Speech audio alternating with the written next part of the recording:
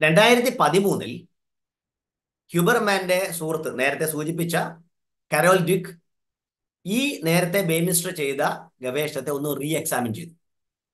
അതൊന്നുകൂടെ ശരിയാണോ നോക്കാൻ വേണ്ടി ചെയ്തു. അത്ഭുതകരമെന്ന് പറയട്ടെ അതേ ഉത്തരം തന്നെയാണ് ലഭിച്ചത്.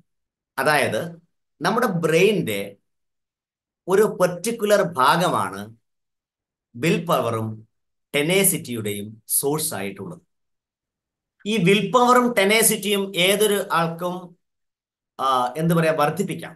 അല്ലെങ്കിൽ ടെനേസിറ്റി വിൽ പവർ എന്നിവ നമുക്ക് വർദ്ധിപ്പിക്കാൻ പറ്റും. വളരെ ക്ഷീണിച്ചിരിക്കുന്ന ഒരു അവസ്ഥയിലാണ് അല്ലെങ്കിൽ വിൽ പവർ ഒക്കെ വളരെ കുറഞ്ഞിരിക്കുന്ന ഒരാളാണെങ്കിൽ പോലും. ഇനി പറയാൻ പോകുന്ന മൾട്ടിപ്പിൾ ടൂൾസ് വഴി നമുക്ക് വിൽ പവറും ടെനേസിറ്റിയും വർദ്ധിപ്പിക്കാം. അതുകൊണ്ട് തുടർന്നുള്ള കാര്യങ്ങൾ വളരെ ശ്രദ്ധയോടെ കേൾക്കുക. അത് മനസ്സിലാക്കി പ്രാവർത്തികമാക്കാൻ ശ്രമിക്കുക.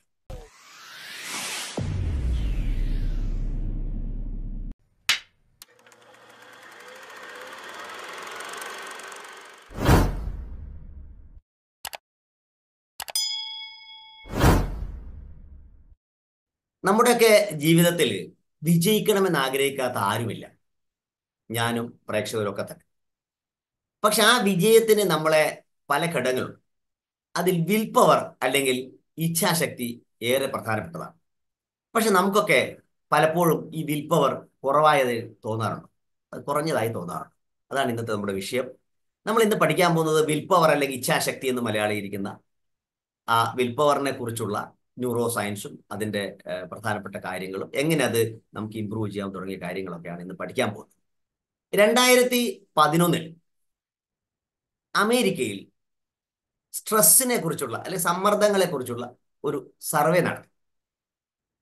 ആ സർവേ നടത്തിയതിൽ ഒരുപാട് ആൾക്കാരിലാണ് സർവേ നടത്തിയപ്പോൾ അതിന്റെ റിപ്പോർട്ടൊക്കെ പഠിച്ചപ്പോൾ മനസ്സിലായത് അതിൽ ഇരുപത്തിയേഴ് ശതമാനം ആൾക്കാർ പറഞ്ഞത് അവർക്ക് ചേഞ്ച് ഉണ്ടാക്കത്തക്ക വിധത്തിലുള്ള വിൽ പവർ ഇല്ല എന്നതാണ് അത് വലിയ സംഖ്യയാണ് ഇരുപത്തേഴ് ശതമാനം വലിയ സംഖ്യയാണ്.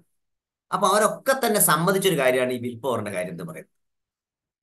അപ്പൊ നമുക്ക് എന്താണ് വിൽ പവർ എന്ന് നോക്കാം. അതിനൊരു ഡെഫിനേഷൻ ഞാൻ പറയാം. Willpower is the ability to resist short term temptations in order to meet long term goals വലിയ ലക്ഷ്യങ്ങൾ നേടുന്നതിൽ നിന്ന് നമ്മളെ തടസ്സപ്പെടുത്തുന്ന ചെറിയ ചെറിയ പ്രലോഭനങ്ങളെ പിടിച്ചു നിർത്താനുള്ള കഴിവില്ലായ്മയാണ് യഥാർത്ഥത്തിൽ ഇച്ഛാശക്തി എന്ന് പറയുന്നത്. ഞാൻ ചില ഉദാഹരണങ്ങളോട് അത് പറയുമ്പോൾ നമുക്ക് എളുപ്പം മനസ്സിലാവും. ഒന്ന് ഒരാൾക്ക് വെയിറ്റ് ഒന്ന് കുറക്കണം. അല്ലെ വേറൊരാൾക്ക് സ്മോക്കിംഗ് അല്ലെ പുകവലി നിർത്തണം. ചിലർക്ക് മദ്യപാനം അല്ലെ ഡ്രിങ്കിങ് നിർത്തണം. ചിലവർക്ക് പഠിക്കുന്ന സമയം അതായത് പഠിക്കാനുള്ള സമയം ഒന്ന് കൂടണം. ഇങ്ങനെ നോക്കിക്കഴിഞ്ഞാൽ ഇത് ഏറ്റവും കൂടുതൽ മറ്റൊരു കാര്യം എന്ന് പറയുന്നത് ഈ സോഷ്യൽ മീഡിയയുടെ ഉപയോഗം ഒന്ന് കുറക്കണം. അല്ലെ ഫേസ്ബുക്കിലെയോ അല്ലെങ്കിൽ ഇൻസ്റ്റയിലോ ഒക്കെ നമുക്ക് കുറച്ച് കുറക്കണം. ഇങ്ങനെയുള്ള പല ലക്ഷ്യങ്ങളും വെക്കുന്ന ഒരാളെ സംബന്ധിച്ചിടത്തോളം ആ ലക്ഷ്യത്തിലേക്ക് എത്തുന്നതിന് തടസ്സപ്പെടുത്തുന്ന പ്രധാനപ്പെട്ട ഒന്നാണ് ഈ ഇച്ഛാശക്തി ഇല്ലായ്മ എന്ന് പറയുന്നത്. അത് വളരെ പ്രധാനപ്പെട്ട ഒരു കാര്യമാണ്. ഒരു ഉദാഹരണം പറഞ്ഞു എന്ന് മാത്രം ഇനി മറ്റൊരു പഠനത്തെ കുറിച്ചാണ് ഞാൻ പറയുന്നത് കേട്ടോ. ഇത് ഡ്യൂക്ക് യൂണിവേഴ്സിറ്റിയിലെ ടെറി മോഫിറ്റ് എന്ന് പറയുന്ന ഒരു വ്യക്തി ഒരു വലിയൊരു പഠനം നടത്തി. അത് നടത്തിയത് ന്യൂസിലാൻഡിലാണ്. ഇത് ഡ്യൂക്ക് യൂണിവേഴ്സിറ്റി അമേരിക്കയിലാണ്. പക്ഷെ അതിന്റെ നേതൃത്വം അദ്ദേഹം അവിടുത്തെ പ്രൊഫസറാണെന്നേ ഉള്ളൂ. ഈ ഈ പറയുന്ന സർവേ ഒക്കെ നടത്തി സ്റ്റഡി നടത്തിയത് ന്യൂസിലാൻഡിലെ ഡിനോഡിൻ എന്ന് പറയുന്ന ഒരു സ്ഥലത്താണ്. അവിടെ നടത്തിയത് ഒരു ആയിരം ആൾക്കാരിലാണ് ഈ സർവേ നടത്തിയത് അല്ലെങ്കിൽ സ്റ്റഡി നടത്തിയത്. അതിന് പ്രത്യേകത കേട്ടോ.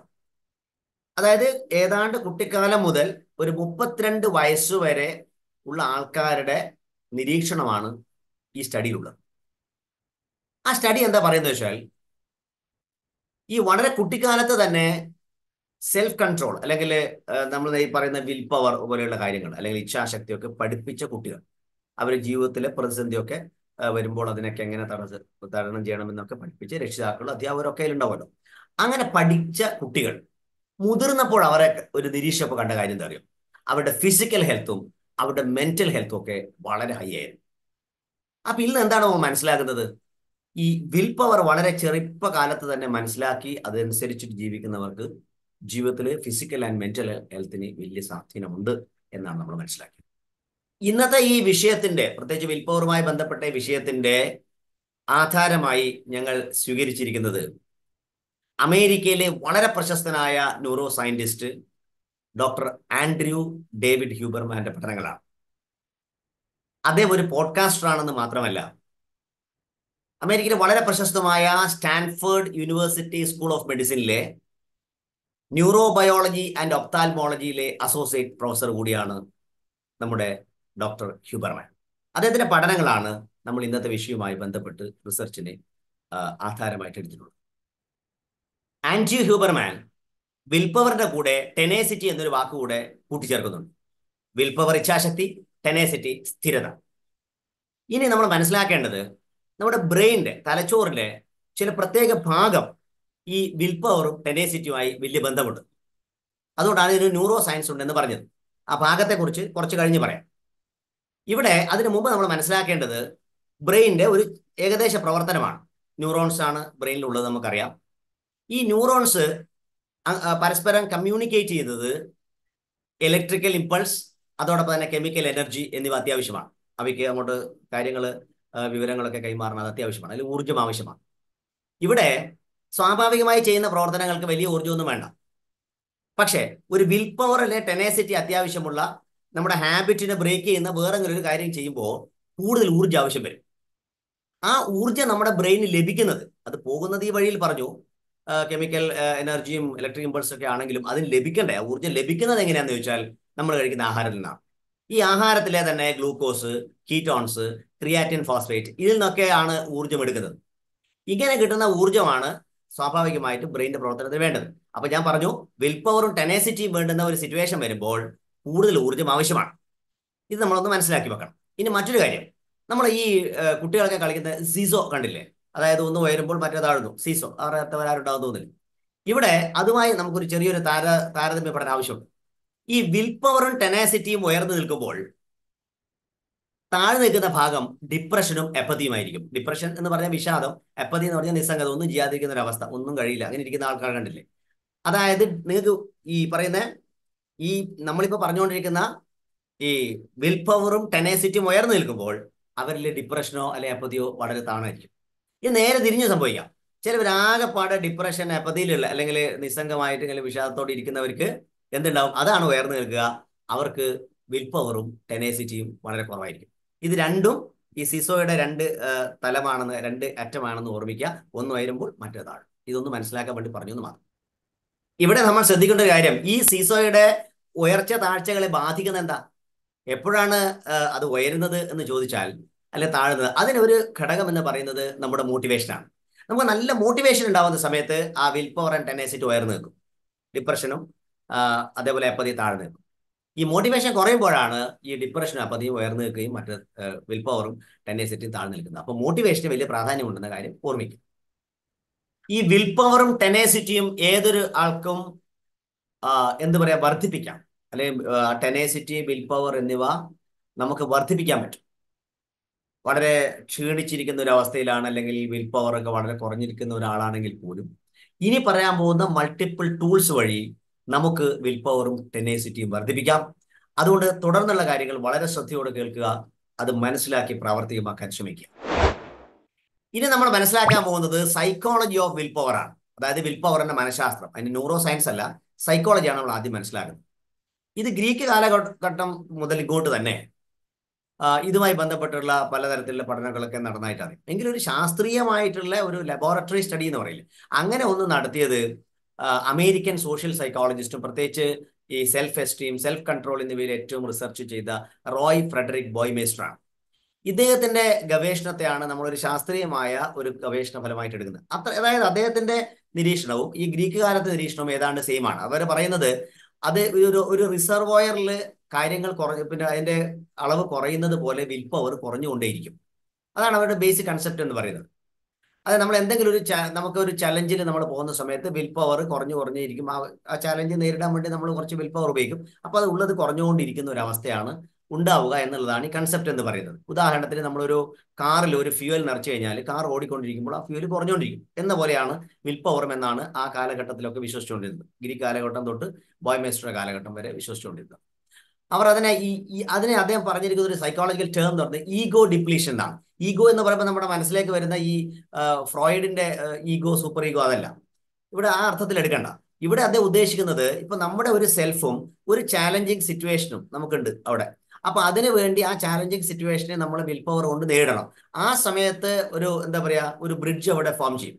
ഈ ബ്രിഡ്ജ് ഫോം ചെയ്യുന്ന സമയത്ത് ആ വിൽ പവർ കുറഞ്ഞുകൊണ്ടിരിക്കും. ഇതാണ് ഇദ്ദേഹം പറയുന്ന ഈഗോ ഡിപ്ലീഷൻ അപ്പൊ ഇങ്ങനെ ഈ സൈക്കോളജി ഓഫ് വിൽ പവറിന്റെ പ്രധാനപ്പെട്ട ഒരു നിരീക്ഷണം എന്ന് പറയുന്നത് ഈഗോ ഡിപ്ലീഷൻ ആണ്.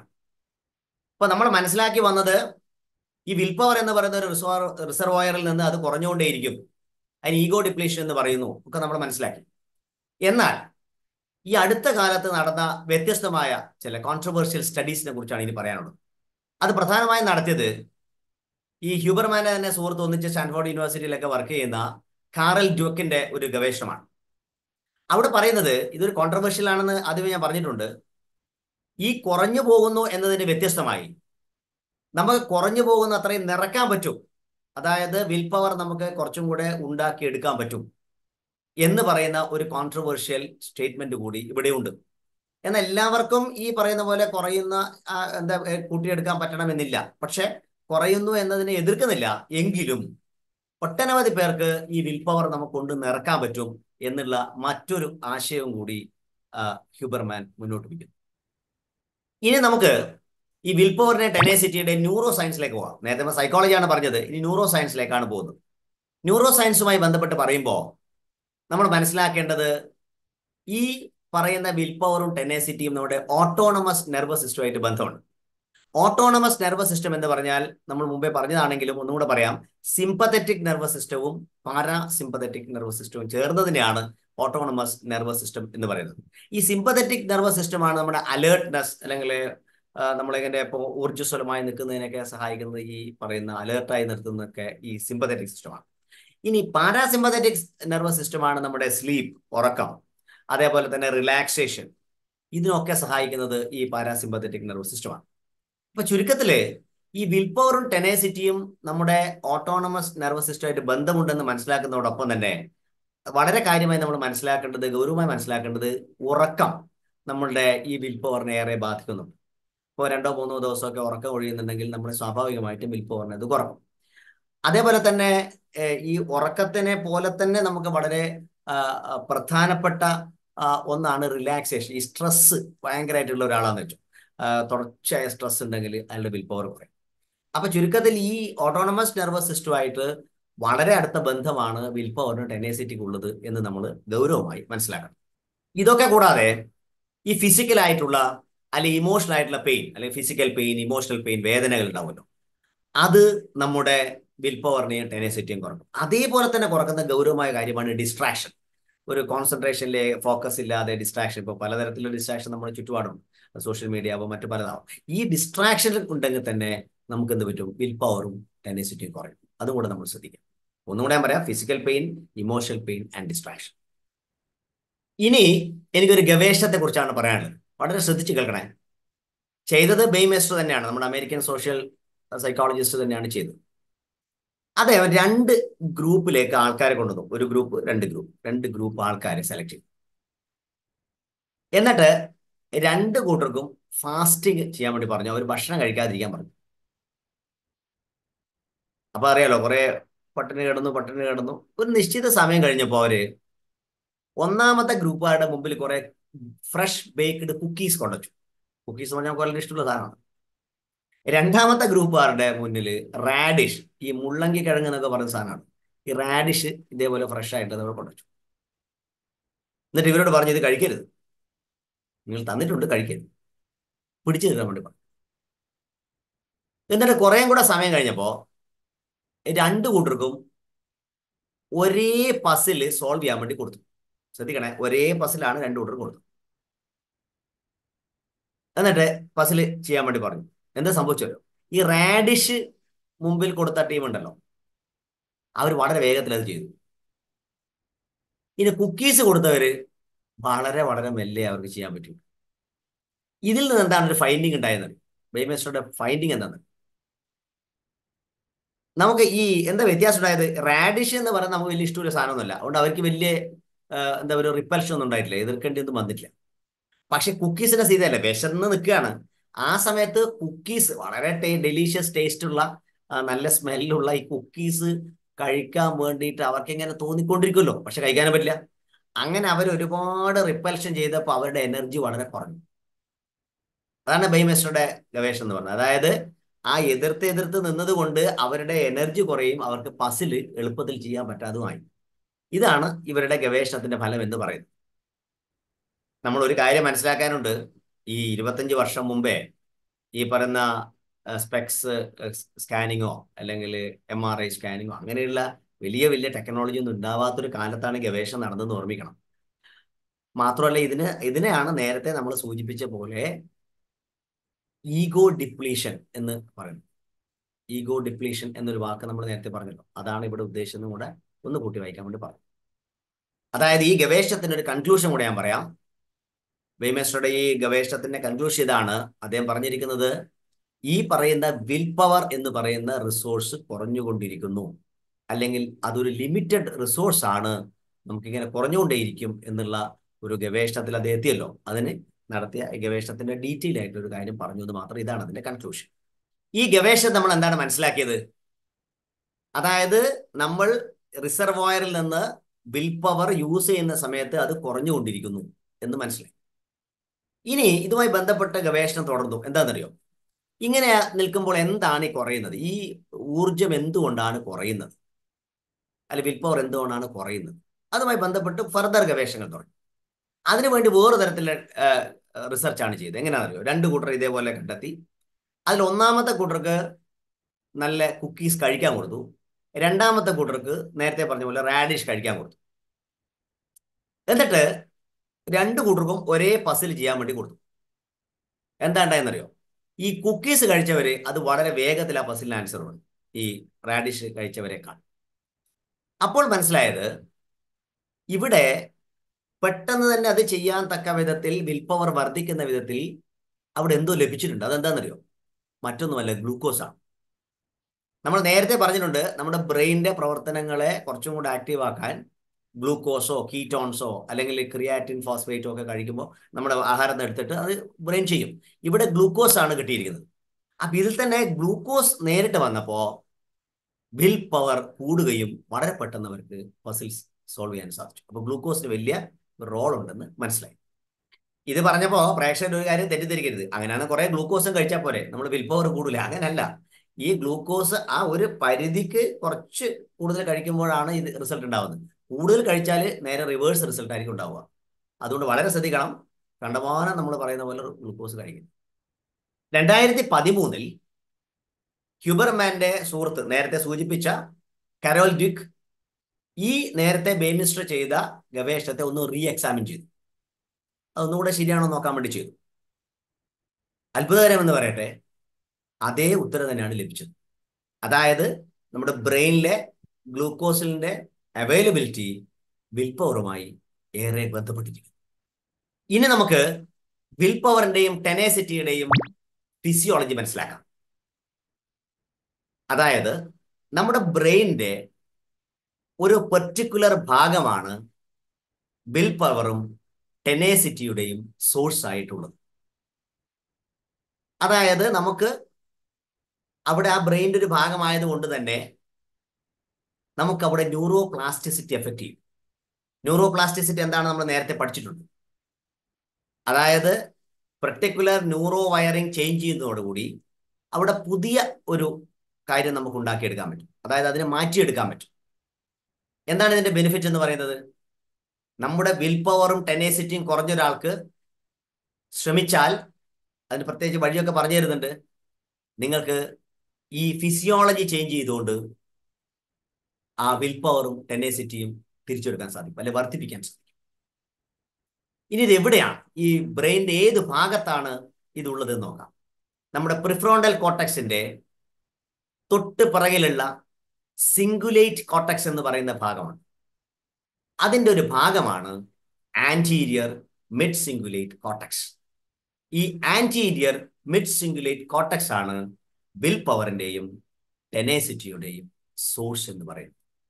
അതായത് എന്താ ഇതിന്റെ ബെനിഫിറ്റ് നമുക്ക് ഈ ഈ ഒരു അറിവുണ്ടാവുന്നതോടുകൂടി നമുക്ക് പ്രത്യേകിച്ചുള്ള പ്രവർത്തനം വഴി അതിനെ സ്റ്റിമുലേറ്റ് ചെയ്യുന്ന പ്രവർത്തനം വഴി തീരെ വിൽ പവറും ടെനേസിറ്റിയും കുറഞ്ഞ ഒരാൾക്ക് ഹൈ വിൽ പവറും ടെനേസിറ്റി ഉണ്ടാക്കാൻ സാധിക്കുമെന്ന ഒരു വലിയ അറിവാണ് ഈ ശാസ്ത്രലോകം നമുക്ക് തരുന്നത്. കനഡയിലെ ടൊറന്റോയിലുള്ള നോർത്ത് ഈസ്റ്റേൺ യൂണിവേഴ്സിറ്റിയിലെ ന്യൂറോ സയന്റിസ്റ്റും സൈക്കോളജിസ്റ്റുമായ ഡോക്ടർ ലിസ ഫെൽമാൻ ബാരറ്റ് ആണ് ഈ ആന്റീരിയർ മെഡ്സിംഗുലേറ്റ് കോട്ടക്സിനെ കുറിച്ചുള്ള വിൽപ്പവറുമായി ബന്ധപ്പെട്ടുള്ള റിസർച്ച് ഏറ്റവും കൂടുതൽ നടത്തിയിട്ടുണ്ട്. അവരുടെ പഠനങ്ങളാണ് ഇന്ന് ശാസ്ത്രലോകമേറെ ശ്രദ്ധയോടെ നോക്കുന്നത്. ഈ ആന്റീരിയർ മെഡ്സിംഗുലേറ്റ് കോട്ടക്സ് രണ്ട് തരത്തിലുള്ള സെൻസ് ഓഫ് ഫീലിംഗ് ആണ് ഉണ്ടാക്കുന്നത്. അതിലൊന്ന് ഞാൻ എന്ത് തന്നെ വന്നാലും ഞാൻ അങ്ങനെ ചെയ്യും. ഐ വിൽ ഡു ഇറ്റ് ഇനി എന്ത് സാഹചര്യം വന്നാലും ഞാനത് ചെയ്യില്ല. ഐ വോണ്ട് ഡു ഇറ്റ് ഇങ്ങനെ രണ്ട് തലത്തിലുള്ള സെൻസ് ഓഫ് ഫീലിംഗ് ആണ് ആന്റീരിയർ മിഡ്സിംഗുലേറ്റ് കോട്ടക്സ് ഉണ്ടാക്കുന്നത്. ഇവിടെ മറ്റൊരു ഗവേഷണത്തെ കുറിച്ചാണ് പറയാനുള്ളത്. ആൻഡ്രിയോ ഹ്യൂബർമാന്റെ അടുത്ത സുഹൃത്തായ കോ വർക്കറൊക്കെ ആയിരിക്കുന്ന കൊല്ലീഗ് ആയിരിക്കുന്ന ജോ പർവേസിയാണ് ന്യൂറോ സയന്റിസ്റ്റ് ഈ ഗവേഷണം നടത്തിയത്. അദ്ദേഹം ചെയ്തത് അദ്ദേഹത്തിന്റെ ചില തോട്ട് ഇങ്ങനെയാണ് പോയത്. ഈ ആന്റീരിയർ മിഡ്സിംഗുലർ കോർട്ടക്സിനെ ആക്ടിവേറ്റ് ചെയ്താൽ എന്ത് സംഭവിക്കും? അത് നോക്കാൻ വേണ്ടിയിട്ടൊരു പരീക്ഷണമായിരുന്നു. അതിന് അദ്ദേഹം ചെയ്ത് കുറച്ച് ആൾക്കാരെ സെലക്ട് ചെയ്ത് അവരുടെ ബ്രെയിനിൽ ഈ പറയുന്ന ആന്റീരിയർ സിംഗുലർ മിഡ്സിംഗുലർ കോർട്ടക്സിന്റെ പരിസരത്തുള്ള തൊട്ടടുത്ത് ചില ഇലക്ട്രോഡുകൾ ഫിറ്റ് ചെയ്തുകൊണ്ട് അതിനെ സ്റ്റിമുലേറ്റ് ചെയ്തു. അങ്ങനെ സ്റ്റിമുലേറ്റ് ചെയ്യപ്പെട്ട് കഴിഞ്ഞ ശേഷം അവരോട് ചോദിച്ചു നിങ്ങൾക്ക് എന്ത് ഫീലിംഗ് ആണ് ഉണ്ടായത്? എന്താണ് സംഭവിച്ചത്? അപ്പൊ അവർ പറഞ്ഞത് ഞങ്ങൾക്ക് ചില പ്രതിസന്ധികൾ ഉണ്ടാകുന്നതായി തോന്നി. പക്ഷെ ആ പ്രതിസന്ധികളെ ഏത് തരത്തിലും തരണം ചെയ്യാനുള്ള ഒരു കരുത്തും ഞങ്ങളിൽ ഉണ്ടായതായി ഞങ്ങൾക്ക് ഫീൽ ചെയ്തു. ഇതിൽ നമ്മൾ മനസ്സിലാക്കേണ്ടത് ഈ ആന്റീരിയർ മിഡ്സിംഗുലർ കോട്ടക്സ് ആക്ടിവേറ്റ് ചെയ്തുകൊണ്ട് നമുക്ക് വിൽ പവറും ടെനേസിറ്റിയും ഒക്കെ വർദ്ധിപ്പിക്കാൻ പറ്റും എന്നുള്ളതാണ്. ഈ ആന്റീരിയർ മിഡ്സിംഗുലേറ്റ് കോട്ടക്സിന്റെ മറ്റൊരു ധർമ്മം കൂടി ഞാൻ പറയാം. അതിന്റെ പേര് അലോസ്റ്റേസിസ് എന്നാണ്. അലോസ്റ്റേസിസ് എന്ന് പറഞ്ഞാൽ നമ്മുടെ ബ്രെയിനിലെത്തുന്ന എനർജി റിസോഴ്സിനെ ഓരോ ഭാഗത്തും ബ്രെയിന്റെ ഓരോ ഭാഗത്ത് എത്രത്തോളം എത്രത്തോളം ഒക്കെ എത്തിക്കണം എന്നുള്ളതിന്റെ അലോക്കേഷൻ ചെയ്യുന്നത് ഈ ആന്റീരിയർ മിഡ്സിംഗുലേറ്റ് കോട്ടക്സ് ആണ്. അങ്ങനെ ഒരു ധർമ്മം കൂടി അതിനുണ്ട് എന്ന് പറഞ്ഞു എന്ന് പറഞ്ഞു ഈ ആന്റീരിയർ മിഡ്സിംഗുലേറ്റ് കോട്ടക്സിന് വളരെ വ്യത്യസ്തമായ ഒരു പ്രത്യേകതയുണ്ട്. അതായത് ബ്രെയിനിന്റെ മറ്റു ഭാഗങ്ങൾ അതുപോലെ തന്നെ ശരീരത്തിന്റെ മറ്റു ഭാഗങ്ങളിൽ നിന്നൊക്കെ വരുന്ന സിഗ്നലുകളെ ഉപയോഗിച്ചുകൊണ്ട് സ്വയം സ്റ്റിമുലേറ്റ് ചെയ്യപ്പെടാൻ സാധിക്കും. അതിന് സ്വയമായിട്ട് അതിനെ സ്റ്റിമുലേറ്റ് ചെയ്യാൻ സാധിക്കും. എന്തിന്? എവിടെയെങ്കിലും ഒരു റെസിസ്റ്റൻസ് വരുമ്പോൾ അതിനെതിരെ പ്രവർത്തിക്കാൻ സാധിക്കും. ഉദാഹരണമായി നമ്മൾക്ക് ഒരു ഇഷ്ടമില്ലാത്തൊരു കാര്യം ചെയ്യണം. എന്ന് വെച്ചാൽ ഒരു ഭാഷ പഠിക്കണം നിർബന്ധിച്ചു എന്തോ കാര്യത്തിന് അത്യാവശ്യത്തിനാണ് പഠിക്കണമെങ്കിൽ. നമുക്ക് ഇഷ്ടമൊന്നുമില്ല. ആ സമയത്ത് ഇത് സ്വയം സ്റ്റിമുലേറ്റ് ചെയ്തിട്ട് ആ വിൽ പവർ ഉണ്ടാക്കി തരും. അല്ലെങ്കിൽ ഒരു മ്യൂസിക് പഠിക്കണം. അല്ലെങ്കിൽ നമുക്ക് ഈവൻ നടക്കണം. ജസ്റ്റ് ഒന്ന് നടക്കണമെങ്കിൽ പോലും സ്വയം സ്റ്റിമുലേറ്റ് ചെയ്തിട്ട് ഇത് നമുക്ക് വേണ്ടുന്ന വിൽ പവർ ഉണ്ടാക്കി തരും. അത്തരത്തിലുള്ള ഒരു മഹത്തായ കഴിവ് ഈ ആന്റീരിയർ മിഡ് സിംഗുലേറ്റ് കോർട്ടക്സ് ഉണ്ട് അപ്പൊ നമ്മൾ വളരെ വ്യക്തമായിട്ട് ഒരു കാര്യം മനസ്സിലായി. നമ്മുടെ വിൽ പവർ ടെനേസിറ്റി ഒക്കെ വർദ്ധിപ്പിക്കാൻ വേണ്ടി anterior mid cingulate cortex active ആക്കണം. അത് കൂടുതൽ ശക്തമാക്കണം. അതിന് എന്തൊക്കെ ചെയ്യണമെന്നാണ് പറയുന്നത്? അതിൽ ഒന്നാമത്തത് ഫിസിക്കൽ ആൻഡ് കോഗ്നേറ്റീവ് എക്സസൈസ് ആണ്. ഫിസിക്കൽ എക്സ് ഫിസിക്കൽ എക്സസൈസ് എന്ന് പറഞ്ഞാൽ ഞാൻ വിശദീകരിച്ച് പറഞ്ഞുതരാം. കോഗ്നേറ്റീവ് എക്സസൈസ് എന്ന് പറയുന്നത് നമ്മുടെ ലേണിംഗ് ചെയ്തുകൊണ്ടിരിക്കുക. കൂടുതൽ കൂടുതൽ കൂടുതൽ ഭാഷയോ അല്ലെങ്കിൽ സംഗീതമോ ഇൻസ്ട്രുമെന്റ്സോ ഒക്കെ പഠിച്ചുകൊണ്ടിരിക്കുക. ഇവിടെ ഫിസിക്കൽ എക്സസൈസിനെ നമുക്ക് രണ്ടായി തിരിക്കാം. ഒന്ന് കാർഡിയോ വാസ്കുലർ എക്സസൈസ് അല്ലെങ്കിൽ എയറോബിക് എക്സസൈസ് എന്ന് പറയും. അല്ലെങ്കിൽ മറ്റൊന്ന് സ്ട്രെച്ചിങ് എക്സസൈസ് അല്ലെങ്കിൽ അതിന്റെ കലസ്തനറ്റിക് എക്സസൈസ് എന്ന് മറ്റൊരു പേര് ഉപയോഗിക്കാറുണ്ട്. ഇവിടെ രണ്ടായിരത്തി ആറിൽ നടന്ന ഒരു പഠനമാണ് എനിക്കിവിടെ പറയാനുള്ളത്. അവിടെ അറുപതിനും എഴുപത്തി ഒമ്പതിനും പ്രായത്തിൽ ഇടയിലുള്ള ഒരു കുറച്ച് ആൾക്കാരെ സെലക്ട് ചെയ്ത് രണ്ട് ഗ്രൂപ്പുകളാക്കി. അതിൽ ഒരു ഗ്രൂപ്പിന് ഈ പറയുന്ന കാർഡിയോ വാസ്കുലർ എക്സസൈസ് ആഴ്ചയിൽ മൂന്ന് മണിക്കൂർ വെച്ച് നൽകി. അതായത് എയറോബിക് എക്സസൈസ് ആഴ്ചയിൽ മൂന്ന് മണിക്കൂർ. മറ്റേ ടീമിന് സ്ട്രെച്ചിങ് എക്സസൈസ് മാത്രം ആഴ്ചയിൽ മൂന്ന് മണിക്കൂർ നൽകി. എന്നിട്ട് ഇവരെ കുറിച്ചൊന്ന് പഠിച്ചു. ഇവരുടെ ബ്രെയിനൊക്കെ ഒന്ന് പഠിച്ചപ്പോൾ ഈ കാർഡിയോ വാസ്കുലർ എക്സസൈസ് ചെയ്ത ആൾക്കാരുടെ ബ്രെയിനിന്റെ വോളിയം കൂടി. മാത്രമല്ല ഈ ആന്റീരിയർ മിഡ് സിംഗുലേറ്റ് കോട്ടക്സ് വളരെ ശക്തമായിട്ട് പ്രവർത്തിക്കുന്നതായിട്ടും കാണാൻ സാധിച്ചു. എന്നാൽ സ്ട്രെച്ചിങ് എക്സസൈസ് ചെയ്തവർക്ക് അത്രയും കാണിച്ചില്ല. അപ്പൊ അതിനർത്ഥം ഈ ഫിസിക്കൽ എക്സസൈസിൽ വലിയ ഇമ്പോർട്ടന്റ് ആണ് ഈ കാർഡിയോ വാസ്കുലർ എക്സസൈസിന് ഇത് നമ്മുടെ ആന്റീരിയർ മിഡ് സിംഗുലേറ്റ് കോട്ടക്സിനെ ആക്ടിവേറ്റ് ചെയ്യാൻ വളരെ പ്രധാനപ്പെട്ട ഒന്നാണ്. നമ്മൾ എല്ലാവരും ഇത് ചെയ്യേണ്ടതാണ്. ഇനി നമുക്ക് രണ്ടാമത്തെ കാര്യം നോക്കാം. അത് മൈക്രോസക്സ് എന്നാണ് അതിനെ അറിയപ്പെടുന്നത്. അതെന്താ വെച്ചാൽ നമുക്ക് തീരെ ഇഷ്ടമില്ലാത്തൊരു കാര്യം നമ്മൾ ചെയ്യാൻ ശ്രമിക്കും. ഇപ്പോൾ നിങ്ങൾക്ക് ഒരു മ്യൂസിക്കൽ ഇൻസ്ട്രുമെന്റ് പഠിക്കാൻ ഇഷ്ടമൊന്നുമില്ല. പക്ഷെ നിങ്ങൾ അത് പഠിക്കാൻ ശ്രമിക്കുക അത് ഞാനൊരു ഒരേ ഉദാഹരണം തന്നെ പറഞ്ഞു വെച്ചാൽ നമുക്ക് പെട്ടെന്ന് മനസ്സിലാവാൻ വേണ്ടിയിട്ടാണ് ഇത് എന്താണോ ഇഷ്ടമില്ല അത് അത് ചെയ്യാൻ ശ്രമിച്ചുകൊണ്ടേയിരിക്കുന്ന സമയത്ത് ഓട്ടോമാറ്റിക്കലി നമ്മുടെ ഈ ആന്റീരിയർ മിഡ്സിംഗുലേറ്റ് കോട്ടക്സ് ആക്ടിവേറ്റ് ആവും. അപ്പോൾ കൂടുതൽ റെസിസ്റ്റൻസ് ഉണ്ടാവുന്ന കാര്യങ്ങൾ ചെയ്യുക. അപ്പോൾ അത് കൂടുതൽ ശക്തമായി നമുക്ക് വിൽ പവറോടുകൂടി പ്രവർത്തിക്കാൻ സാധിക്കും. അതിനെ വേണ്ടുന്ന ശക്തി ഈ ആന്റീരിയർ മിഡ്സിംഗുലേറ്റ് കോട്ടക്സ് ലഭിക്കുകയും ചെയ്യും. ഇനി മൂന്നാമത്തെ കാര്യം എന്ന് പറയുന്നത് സ്ലീപ്പ് ആൻഡ് സ്ട്രെസ് റിഡക്ഷൻ ആണ്. ഉറക്കത്തെക്കുറിച്ച് അധികം ഒന്നും പറയാനില്ല. എപ്പോഴും ഞാൻ പറയാറുണ്ട് ഏഴ് മണി മുതൽ എട്ട് മണിക്കൂർ വരെ നമ്മൾ ഉറങ്ങേണ്ടത് ആവശ്യമാണ്. പ്രോപ്പറായ സ്ലീപ്പ് കിട്ടിയെങ്കിൽ മാത്രമേ നമുക്ക് ഈ വിൽ പവറും അല്ലെങ്കിൽ ടെനേസിറ്റിയും ഒക്കെ വർദ്ധിപ്പിക്കാൻ പറ്റൂ. മറ്റൊന്ന് ഇതിന്റെ കൂടെ തന്നെ പറയേണ്ടതാണ് സ്ട്രെസ് റിഡക്ഷൻ ഇന്ന് ലോകത്തിൽ ഏറ്റവും കൂടുതൽ ആൾക്കാർ അനുഭവിക്കുന്ന ഒന്നാണല്ലോ സ്ട്രെസ് എന്ന് പറയുന്നത്. പലതവണ നമ്മൾ അതിന് അതിന് വേണ്ടിയിട്ടുള്ള പ്രോഗ്രാം ചെയ്തിട്ടുണ്ട്.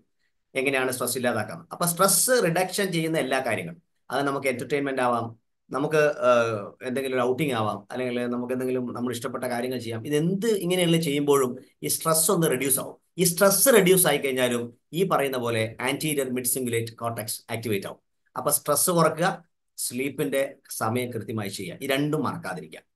ഇനി നാലാമത്തെ കാര്യം എന്ന് പറയുന്നത് റിവാർഡിംഗ് ആണ്. കുറച്ച് രസകരമാണ് അതായത് നമ്മൾ ഏതെങ്കിലും ഒരു സ്ട്രെസ് ഉള്ള സിറ്റുവേഷൻ കടന്നു പോകുന്നു. വളരെ ശക്തമായി പ്രവർത്തിച്ച് അതിനെ ഓവർകം ചെയ്തു. അപ്പൊ നമ്മളതിൽ വിജയിച്ചു. ആ സ്ട്രെസ്സിനെ ഇല്ലാതാക്കി. അല്ലെങ്കിൽ നമുക്കുണ്ടാവുന്ന ആ പ്രശ്നത്തെ സോൾവ് ചെയ്തു. ആ എന്താ പറയാ നമുക്ക് വളരെ ബുദ്ധിമുട്ടാക്കുന്ന കാര്യങ്ങളൊക്കെ നമ്മൾ ഇല്ലാതാക്കി. അങ്ങനെ വരുന്ന സമയത്ത് നമുക്ക് ഉള്ളിന്റെ ഉള്ളിൽ സന്തോഷം ഉണ്ടാവും. ഒരു ഡോപ്പോമിൻ ഫ്ലോ ഉണ്ടാവും. ആ ഡോപ്പോമിൻ ഫ്ലോ നമുക്ക് റിവാർഡ് ആയിട്ട് അവിടെ നിൽക്കും. അത് ഓട്ടോമാറ്റിക്കലി ഈ ആന്റീരിയർ മിഡ് സിംഗുലേറ്റ് കോട്ടക്സിനെ ആക്ടിവേറ്റ് ആവും അപ്പൊ സ്വാഭാവികമായിട്ടും ഈ പറയുന്ന നാല് കാര്യങ്ങൾ നമ്മൾ ചെയ്യുമ്പോൾ ഈ ആന്റീരിയർ മിഡ്സുംഗുലേറ്റ് കോട്ടക്സ് ആക്റ്റീവ് ആവുകയും നമ്മുടെ വിൽ പവറും അതോടൊപ്പം തന്നെ ടെനേസിറ്റി വർദ്ധിക്കുകയും ചെയ്യും. ഈ നാല് കാര്യങ്ങൾ ഒന്നുകൂടി ഓർമ്മിക്കുക.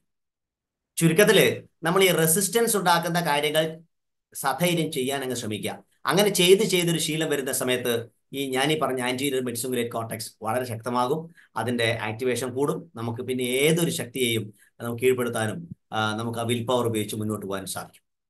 ഇത്രയും സമയം വളരെ ക്ഷമയോടെ ഈ വീഡിയോ കണ്ട പ്രിയപ്പെട്ട പ്രേക്ഷകരെ നിങ്ങളോട് എനിക്ക് പറയാനുള്ളത് നമുക്കൊക്കെ തന്നെ ഒരു വിൽ പവർ അല്പം കുറഞ്ഞിട്ടുണ്ടെങ്കിലും അത് വളർത്തിയെടുക്കാൻ നമുക്ക് സാധിക്കും. അതിനുള്ള ന്യൂറോ സയൻസും സൈക്കോളജിക്കലായിട്ടുള്ള കാര്യങ്ങളൊക്കെ ഇവിടെ വിശദമായി തന്നെ നിങ്ങൾക്ക് പറഞ്ഞു തന്നിട്ടുണ്ട്. എനിക്ക് നിങ്ങൾക്ക് നിങ്ങളോട് വിനീതമായ ഒരു അഭ്യർത്ഥനയുണ്ട്. നിങ്ങൾക്ക് ഈ വീഡിയോ ഇഷ്ടമായെങ്കിൽ നിങ്ങൾ ഈ ലൈക്ക് ബട്ടൺ ഒന്ന് ക്ലിക്ക് ചെയ്യുക. അതോടൊപ്പം പരമാവധി സുഹൃത്തുക്കളിലേക്ക് ബന്ധുക്കളിലേക്ക് ഷെയർ ചെയ്യുക. അതിനേക്കാൾ ഉപരി നിങ്ങൾക്ക് ഈ പലർക്കും എന്നേക്കാൾ ഈ വിഷയത്തിൽ ഒരുപാട് അറിവുള്ള ആൾക്കാരുണ്ട്. അവരൊക്കെ തന്നെ അവിടെ കമന്റ് ചെയ്യുക. ആ കമന്റ് എല്ലാ പ്രേക്ഷകർക്കും ഗുണം ചെയ്യും. അതോടൊപ്പം ആദ്യമായിട്ടാണ് നിങ്ങൾ ഈ വീഡിയോ കാണുന്നതെങ്കിൽ സബ്സ്ക്രൈബ് ചെയ്യാൻ മറക്കരുത്. ബെൽ ബട്ടൺ അമർത്തുക. ഇത്തരം വിജ്ഞാനപ്രദമായ വീഡിയോകൾ നിങ്ങളിലെത്താൻ സഹായിക്കും. Thank you Inspired by Altruistic association of India a non-profit non-religious entity.